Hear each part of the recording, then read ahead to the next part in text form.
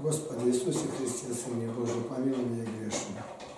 В последнее время на меня скидывает неоднократно указания на фильм «Матильда», чтобы я дал э, разбор этого фильма. Я немного посмотрел, здесь его целый не нашли нигде, говорят, только где-то с 26 октября будет. А так-то трейлеры, как называют, отдельные моменты, эпизоды где-то. Прочитал содержание его, нисколько не заинтересовало. Но последний момент сбросили мне материал.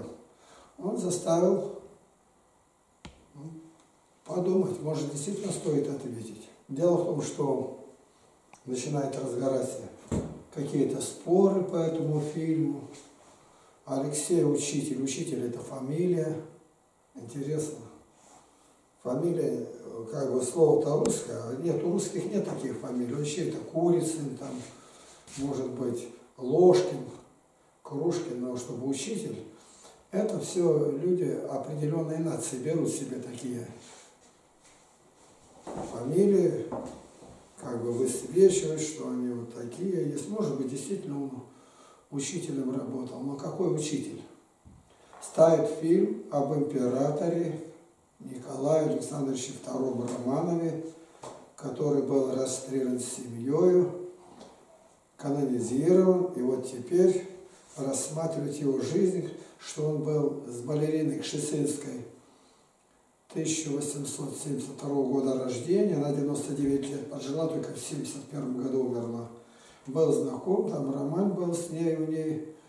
Ну, это до его венчания с Алисой, с Александрой Федоровной. Послушал, что говорят разные люди, Соловьев, Шевченко, Тихон, епископ говорит – если это был бы не связан с историческими моментами фильм, это один вопрос. Но он говорит, что действительно у него был такой момент, когда он влюбился в нее, юношей был, ничего особенного нет. Меня интересует другое, как это все выглядит во свете Библии. Мы знаем общий расклад. Мировая история закончится не в Нью-Йорке, не в Москве, а в Иерусалиме. Оттуда идет все. Это нация, которая дала народ, который дал три мировые религии. Он нигде фактически не встретишь, чтобы еврей работал. Я сколько в жизни был, только один раз на корабле у нас был. Ну, он такой был какой-то, как юродивый. Мы с ним быстро сошлись, видимо, я такой же. Вот, и он мне там первый раз дал прочитать «Бабе Яр» Евгения Евтушенко. Мы с ним прямо сошлись сразу. Он за что-то был наказан и туда сослан. Они самого негодного где-то заставят бумажки переносить с кабинета в кабинет, он там будет. Они подготавливают приход своего Мессии Машаха, то есть Антихриста по православному вероучению. Вот отсюда надо исходить. А что им мешает? Мешает все, что не вписывается в протоколы сионских мудрецов, хотя это считает подделка царской охранки и прочее, ну, слишком уж сходится, слишком похоже на то, что это настоящая программа. Им скрываться нечего. Я раньше, когда ничего еще не читал, Евангелие не знал, в недоумении был. Были немцы такие, как Эрнст Тельман, другие, которые ставили задачей уничтожить Гитлера, гитлеризм, фашизм, нацизм, это социал-фашизм. Вот. И были арестованы, некоторые даже дожили до момента освобождения. А евреев он вырезал даже в люльке. Всех. Почему? Они не претендовали, как будто бы ни на чего торговали. Дальше я уже, когда повзрослел, материалы стали попадаться Э, в Америке был, кое-что почитал. Потом я этой темой занялся. Почти 14 лет я упорно занимался темой масонства. Все, что было до революции сказано в советское время и за рубежом. Ну и вот имею некоторые данные. Время приблизилось к его воцарению, и сейчас я так вижу это. Они зондируют мировое настроение, что может им помешать. без русского народа мировые катаклизмы не заканчивались. В мировой истории эта блудница, Москва примет активное участие и будет сожжена. 17-18 глава Откровения, тут э, все написано так. На семи холмах, горах, от об этом Глинка поэт пишет, Москва семихолмовая. И вот теперь надо смотреть, а какого царя в России ждут? Царь-освободитель прошел, Александр Первый, а вот царь-искупитель, этот момент хорошо Осипов, Алексей Осипов это разбирает, Алексей Осипов Ильич, что никакого искупителя не может быть. И так понятно, Христос наш искупитель. И вдруг цари-божники сейчас просто ждут чуть ли не воскресения царя, какого-то вот, где-то найдут они, и вот какого-то уже они венчали, и какой священник его короновал, Михаил там Георгий, мы его как-то подвозили на машине, он 1300 километров с нами ехал, Писание совершенно не знает. Я ему сказал, вот даю Библию, он на первом сиденье сидел в нашей газели, а я сзади. Галатам считать, он ищет в Ветхом Завете. И не может никак найти. Жена была тут, она вскипела. Вы высмеиваете моего мужа. Вы не высмеете, а просто дал посчитать. И вот здесь. Много ли таких? Мало ли, но эту идею нужно дискредитировать. Потому что то, что казалось малым, потом разгоралось, ну кто думал о том, что перевод священника с одного места на другое послужит смертью Чаушеску? Да даже думать об этом нельзя было. Однако вот так. Ну, застрелил какого-то принца, там, Первая мировая война. А вторая это из-за чего началась? Если так разобраться, то причин особых не было. Так и здесь. А они, учитывая этот опыт, начинают сейчас вот делать такой вброс – как люди относятся к царю Николаю, как дискредитировать. При его жизни дискредитация началась через Григория Ефимовича Распутина. Царь в этом вопросе, я раньше говорил, как царь, как руководитель был никудышный.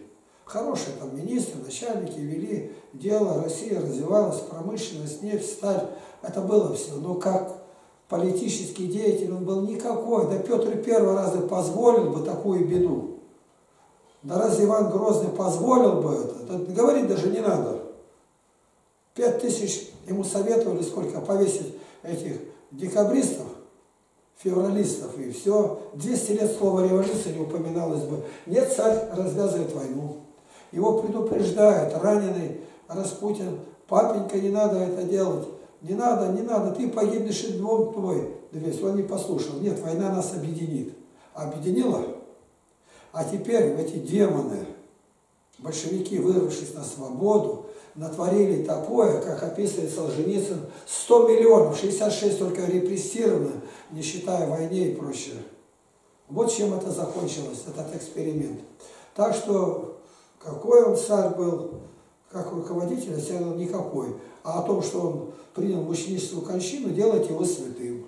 Вот об этом надо говорить. Теперь меня интересует вопрос дискредитация. Кто это будет раскручивать? Нужно, чтобы кто-то эту идею взял, был не согласен, стал какие-то эксцессы устраивать. И вот гляжу, они нашли Александр Калинин. Якобы воскресал, я с ним говорил по скайпу, я предупреждал, оставь это все. Не выдумывай, не дури, иди работать. Он нигде не работал, как всего слов. И даже какой-то ролик был, он все наставил, чтобы я убрал, там, ну, мне страшно это не нравилось. Потом пытался несколько раз выходить на меня, люди мои, мое отношение к нему спрашивали, понимаю, что может быть он сам вопрос задает, а может быть его товарищи. Я видел его там вот среди священников у Сергея Козлова и стоит его за руку держит.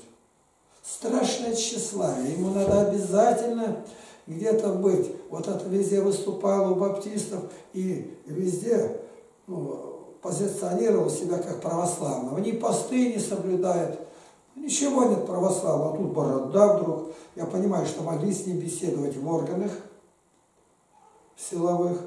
И из него сделать как вот Дворкина, а по этой области его, или как Навального по политическим моментам. А по царю Божию вот это, образовать какую-то надо партию, какое-то общество. Быстренько сляпали. Какое? христианское государство, тире, Святая Русь. Понятно какое. Никогда оно не было христианским и быть не может. Это первое. Не может быть, потому что в государстве тут разные религии, миллионы людей, которые не исповедуют православие, слово Святая Русь им на дух не надо. Ну, это пока на первых порах. Потом они ударят по этому названию, как Божья воля, НТО Царионов был, и разом его прихлопнут. Но сейчас это нужно. Думаю, с ним отдельно побеседовали и сказали, нужно, ты желаешь, чтобы тебя там знали везде? Может быть, даже прямо в открытую говорили, а может, как слепую делал все это. Ну, это надо сделать, как во Франции. Поджигали машины и прочее. Найти, где этот Алексей, учитель, ну и там какую-то аварию сделать. И так, чтобы тебя посадили, как Навального, на короткое время, а потом освободили. Ты без денег не останешься. Вот так. Котенок живет, провод маленький, как бы он не видел. Мне вот так это видится. Эта компания искусственно развязана. Царю, вот сейчас Октябрьская революция, отмечать будут столетие. Нету живого. Ни этой Матильды нету. Никто видел, никаких свидетелей. Ничего нету. Даже если бы была выдуманная какая-то актриса, и тогда бы все это сошло. Но слишком далеко, уже сто лет. 70, значит, где-то 117, может, даже лет уже, да, да, даже больше, как он женился, если что-то там было. А там в фильме показывает, он вроде изменял царь, с, с ней ничего этого не было. Епископ Тихон говорит, это обман, прямая дискредитация. Для чего? Да дискредитации тут никакой нету. Ну, ну великое ли это дело? Блудное мытарство самое опасное. На нем 19 мытарств убиты, все Гитлеры вместе взятые столько не погубили, сколько блуд, прелюбодеяния. И поэтому они рассуждали, в чем царя обвинить, дискредитировать. В скупости нельзя, в щедрости нельзя, в глупости. И так понятно, не великого ума был. Ну и все проще. А давайте ударим, чтобы всем было понятно. Кто-то что-то не добрал. Любой блудник ухватится. О, какую отхватил. Ну и прочее, понятно. Ну, седьмая глава Матфея, третий, шестой стих, прочитать. Бревно, сущего глазе чувствуете, а в своем бревна не вытащите. Почему? Потому что эта тема о блуде очень и очень понятна любому. Как писал Достоевский о детях 1861 году, что десятилетние и уже развратные, десятилетние уже развратные, дважды повторяет. И она нет, вот сейчас делают раскрутку. И уже Калинина якобы арестовали, они там машины поджигали, наружу наблюдение это показывает. И сегодня мне опять скинули ролик, где идет допрос. Что он там отвечает, как будет. Ну, выдуманное все это. И все, которые за царя сейчас, они начинают как бы и прокуратуру, и запретить. Ну, правильно там кто, Соловьев говорит, такое право имеете запрещать-то. И прокуратуру там Поклонская обращаются. Да не смотри, не ходи, деньги не плати. Никакой роли этот фильм не играет. Он играет роль только для тех, которые из царя, из царя сделали идола. Идола. Вот это канонизация его. Для меня он святой, и мне не надо эти канонизации. Я к нему молился и молюсь. Я православный. Я рассматриваю ту сторону, о которой никто не беседует. С какой целью значит эта компания взбудоражит, будирует, как говорят. Интерес. Не к его личности, а к его дискредитации в личности, которая людям приоткрыт. А, да вот царь такой был, а вы, ну, стой стравить. Ну и сейчас людей, которые его считали там святым, и они это увидят, и отшатнутся, и все. Никакой агитации-то и как бы и не было. Но если узнали, он говорит, что очаровались, а теперь разочаровались. Это очень просто делается. Вот за стенкой, кто там сидел за ширмой, думал, сделано правильно, с их стороны рассматривать. Умно с их стороны. А если говорить с божественной, глупее некуда. Все, вся эта ложь обрушится на вас. И в конце вы узнаете, что он поднимет ваш Машах на вас гонение, и вы остаток Израиля спасется, как Павел пишет в послании Галатам, остаток обратиться ко Христу. А сейчас они делают то, расширяют дорогу, путь к своему царю, который воцарится, о котором говорят и протоколы. Я сегодня еще несколько раз прошелся по роликам, по разным ее биографии посчитал, как она уезжала, во Франции была, там и скончалась. Ну, какое это значение имеет для человека здесь? И бунтует а кто? Это те, которые не работают нигде. Ни один там столевар, тракторист, труженик сельского хозяйства не будет. Ни пастух, ни лесоруб, ну никто. Там такие, которые ничем не занимаются, а у них своя роль. Познер обязательно должен. Жуй, правда. Познер вылез, он не может не вылезти это. Вот вся эта еврейская элита, когорта вылезла. Просто, как пословица говорит, видно, еще рыльца в пуху, кому это надо. Надо. А потом они сидят, получилось, получилось.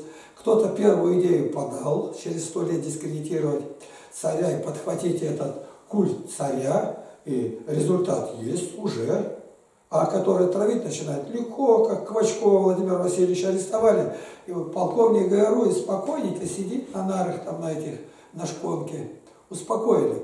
Поарестуют тысячу, две, даже не охнут. Что это означает, эти крикуны? За царя они будут выходить. Это не плетками пороть, те, которые пусть орать пришли в храм плясать.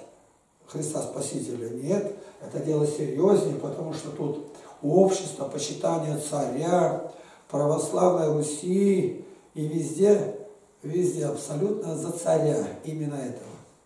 Так что дискредитация повлечет какое-то разделение даже среди православных. И кто это все будет делать, такого папа Гапона, они нашли сейчас.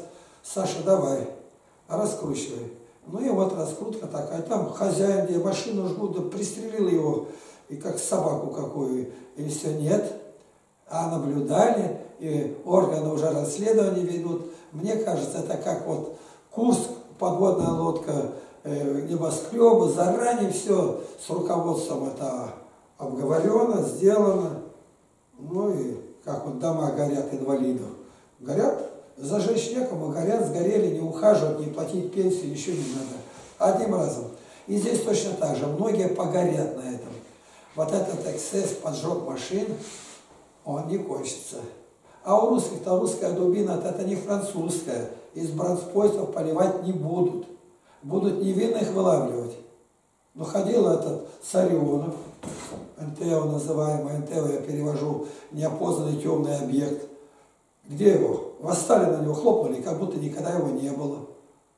Ну, Филиппев приезжал там Всеволод. И что? Ничего, одним разом подняли, хлопнули, его тоже нету. Так и с Дворкиным. И это точно так же. Куда лезут? Христианское государство. Ну и стройте. Христианскую семью создать не могут. У нас в деревне все православные, и всего-то ничего, тут 10 дворов, -то, и то ума не дашь. Один так понимает, другой так. Те, которые искренне верят по Святой Библии, вот мы живем вместе, у нас никогда раздора никакого нету.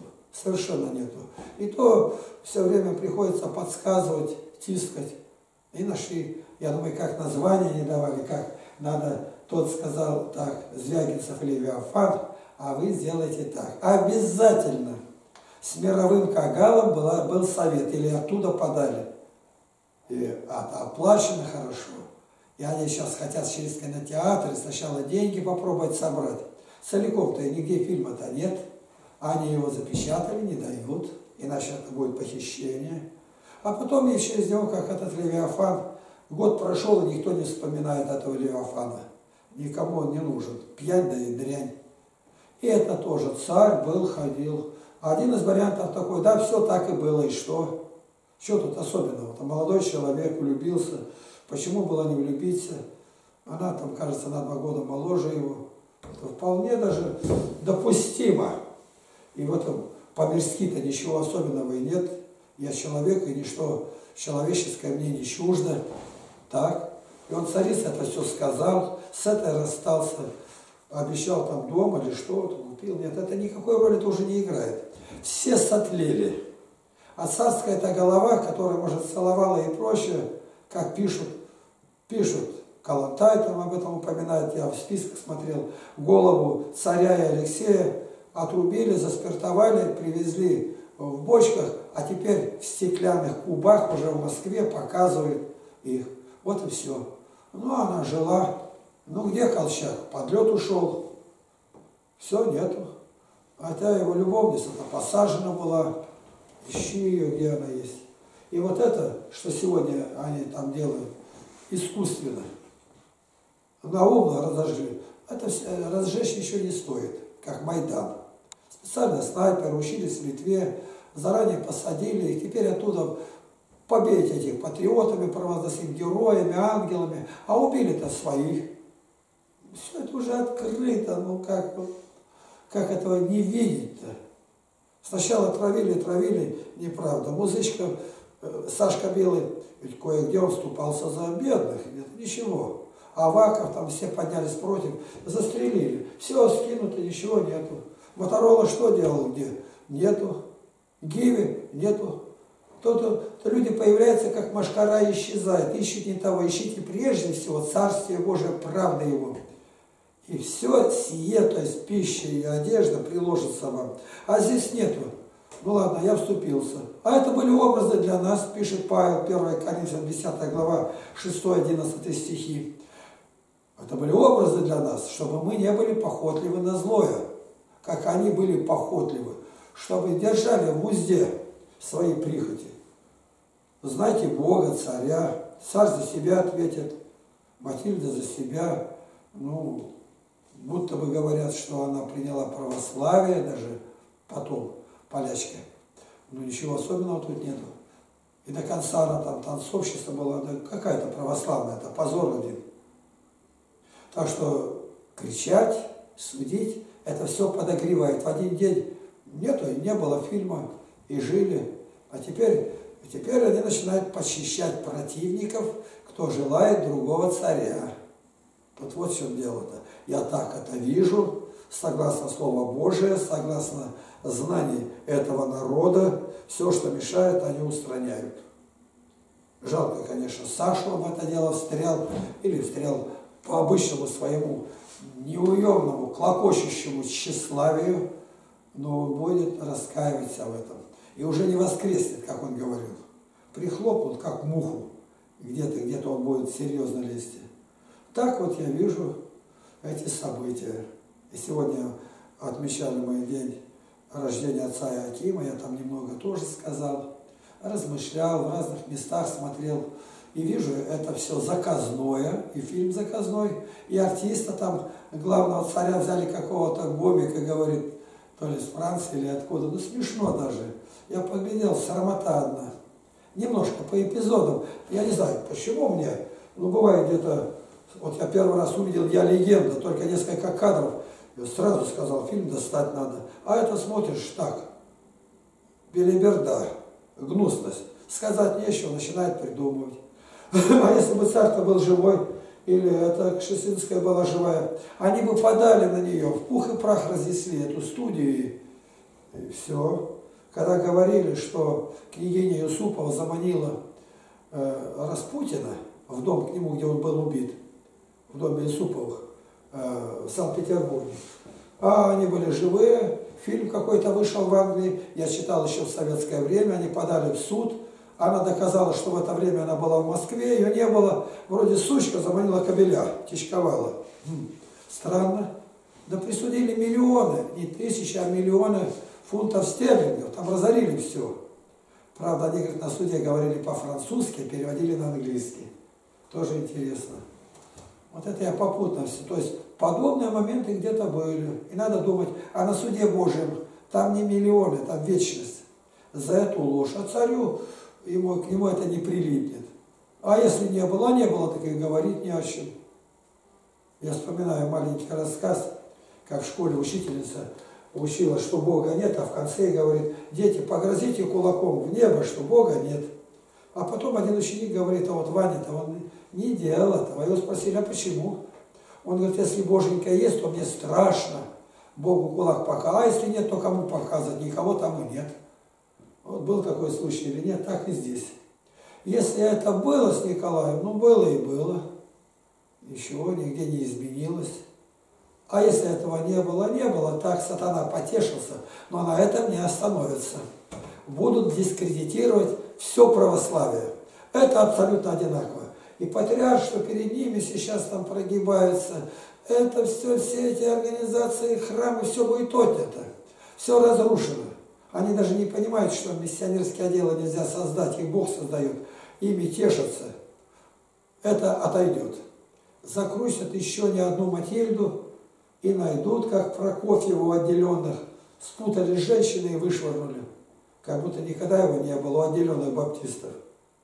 Так вот я это вижу во свете Библии. Богу нашему слава.